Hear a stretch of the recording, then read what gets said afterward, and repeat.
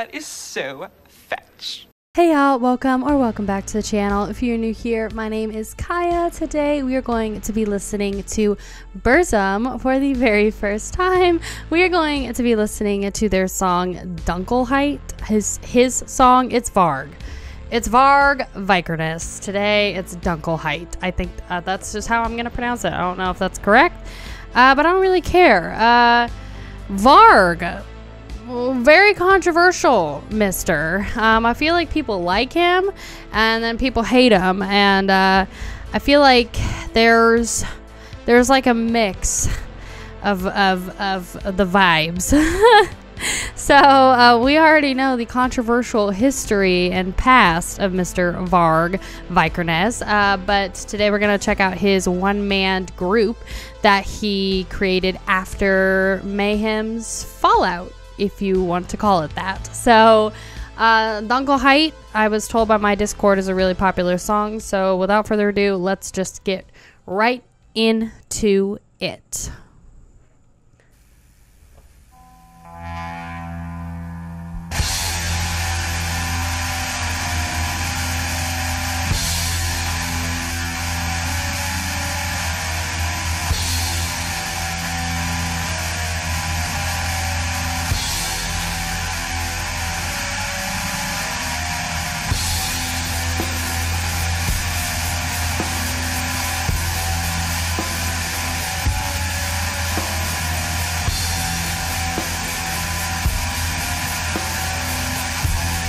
Love the drum sound.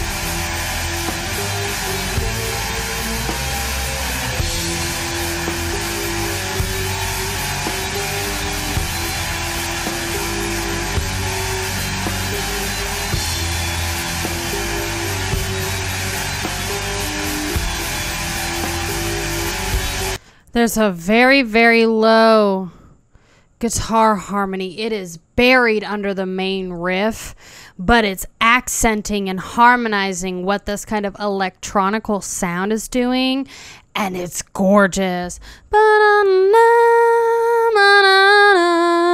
It's just it's perfect. You got to really listen for it though. It's buried underneath that main riff. This is not what I was expecting at all. And real quick, I'll finish my thoughts before we finish the song. It's so modern and refreshing, even though it's from like the early 90s. This, like, I don't know, this electronic. It's so modern. It almost is reminding me of something that's like that Kanye would use, or like that's that I've heard in various like pop music mostly hip hop music I, in a really, really good way. I really like it. This melody, this riff is pinched fingers, and I love his acid bath style photo, like acid bath style vocals with this filter. Let's continue.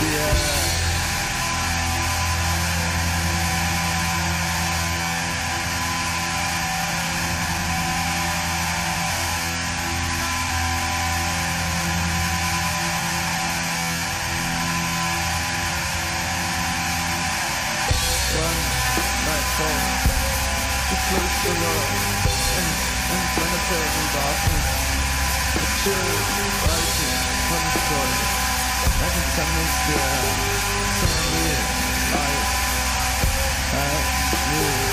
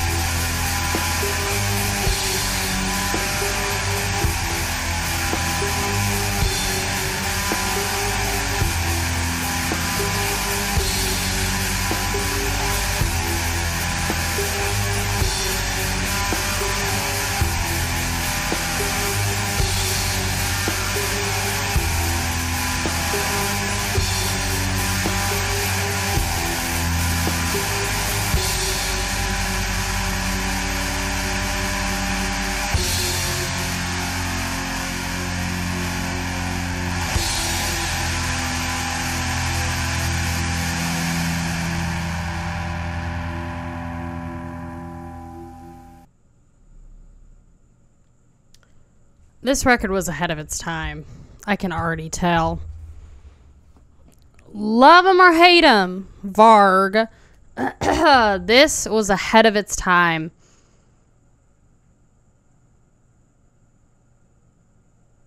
I don't know. It's just so interesting. Like I mentioned, you've got the super heavy, heavy vocals with this filter. It's like such a heavy filter, you can hardly understand what he's saying. And all the vocals are buried in the mix, which somebody commented on this video and said, Fun fact, this album was recorded in the Grieg Hall, a professional recording studio in Bergen, or Bergen, Norway. The reason it sounds so bad is because it was recorded on cheap equipment and not mixed. It was recorded that way to give it a more raw and dark feel to it. Um, and yeah, I mean, I could hear it. Definitely, you know, the vocals are, are definitely buried in this. Um, the guitar is very crunchy, very crunchy, a little too crunchy. But what really makes the song just so good is is that that melody, that electronic. Ba-na, ba-na-na. It's like a key. I, am guessing it's a keyboard sound, and it, it's so catchy. And this song is so like badass and and kind of depressing and it's so much different than some of the atmospheric black metal that we've had on the channel. Um, and just like mayhem it's got this very it's just different than just normal black metal.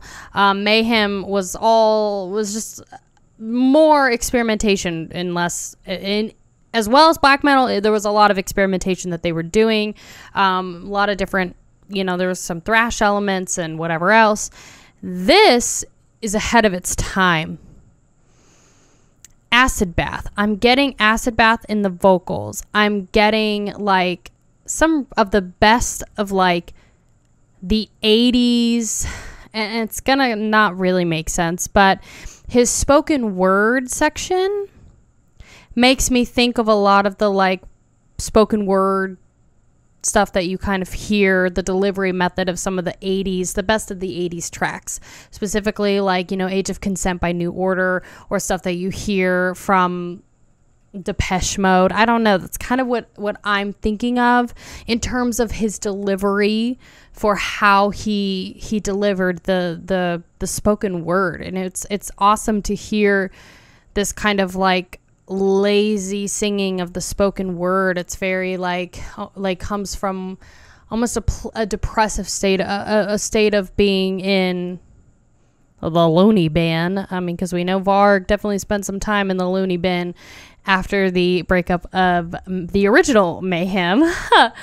um, it, I could listen to that riff with the with the keys, that key sound all day, every day. That is so catchy, and I'm so shocked that there hasn't been a rap artist, hip hop artist, music producer that's done something with that riff because it is fire. It is, ah. Oh it's beyond its time, really. It doesn't sound that riff and the sound of that keyboard sound does not sound like 1991 at all.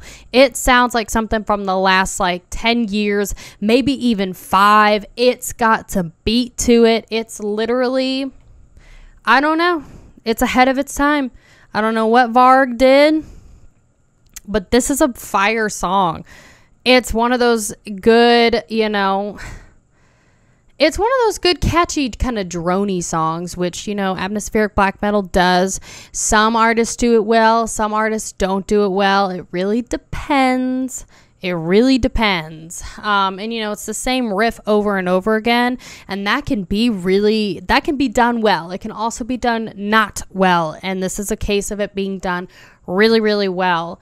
Um, another person said, Love him or hate him, we can't deny the fact that Varg was the father of atmospheric black metal. What do you think about that? Do you also agree that he's the father of black metal?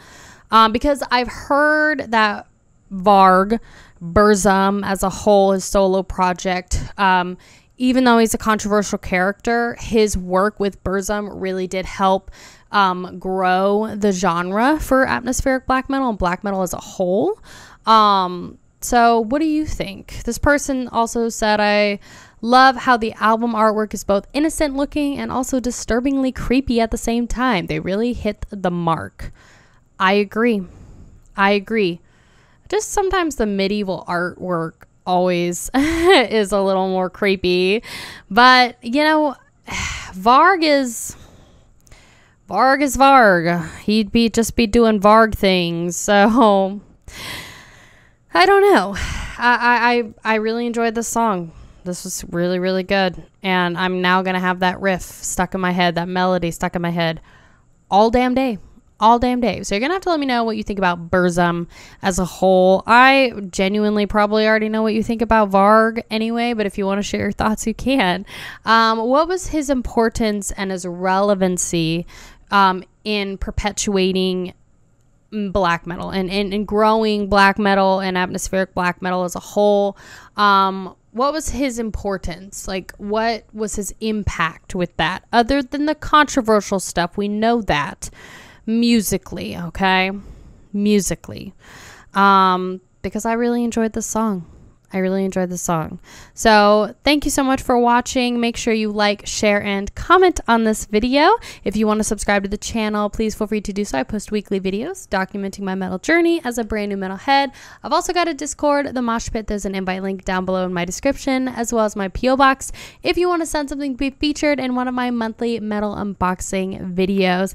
Thank you so much for watching. Thank you so much for being here, and I will see you in the next video. Bye, you guys.